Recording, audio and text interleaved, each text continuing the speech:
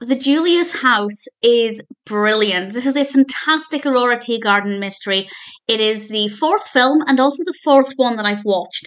And something I want to say is that it's definitely better to watch these films in order because there's something that would spoil the previous film if you saw this one first. I really don't want to give anything else away, but unlike the garage sale mysteries for example which i've kind of kind of watched in order but did a bit of jumping around there isn't really a, strong continuity running through them with this one certainly with these early films this does seem to be the case so just worth bearing in mind that while i do thoroughly recommend this and it's actually my favorite one so far I recommend watching them in order.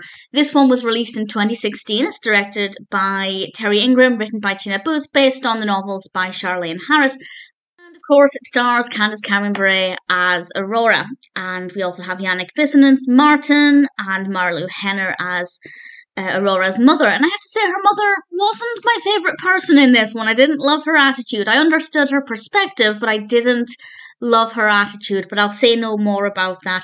The main narrative focuses on Aurora buying a house, beautiful, beautiful house. And it turns out that several years ago, family went missing. Aurora didn't know this until she bought the house, but to be fair, I think had she known it beforehand, she probably would have paid more for the house. But when she moves in, she finds some evidence of some wrongdoing. I don't want to give away too much, but it becomes a, a potential murder investigation and they have to try and find out what happened to this family, where they went, because they just seem to disappear. They went out one day to dinner, I think it was, and just never came home. And it seems like there are no clues. And I found this to be so compelling. I was desperate to know what was going on, and I had no idea. And there were a couple of twists in this that I did not see coming, and I absolutely adored every second of it. I don't want to say too much more than that because I don't want to give away any more. But if you like stories that are unpredictable, that are about missing people, and with a, a, great protagonist, I think Aurora is is wonderful. Slightly biased because I do love Candace Cameron Bure, but I think Aurora is a, a brilliant character. You put all of that together in a film, and it's just absolutely delightful. I loved it, and was devastated when it was finished because I thoroughly enjoyed the journey.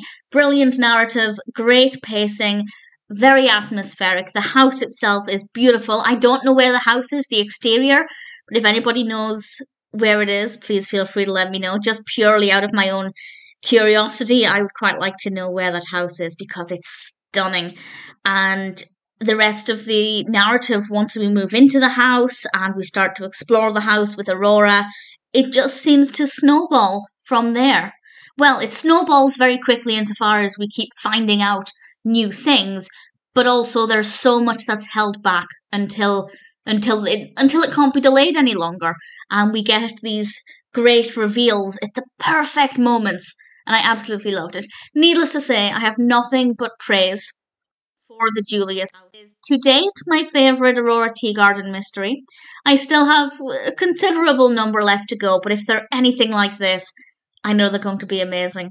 But for now, this is definitely my favourite. If you haven't seen it, I thoroughly recommend it. But as I said, do watch at least the previous films first. Plus, the other films are just really great anyway. So, needless to say, The Julius House is a film that I thoroughly enjoyed. I loved every second of it, and I definitely recommend it.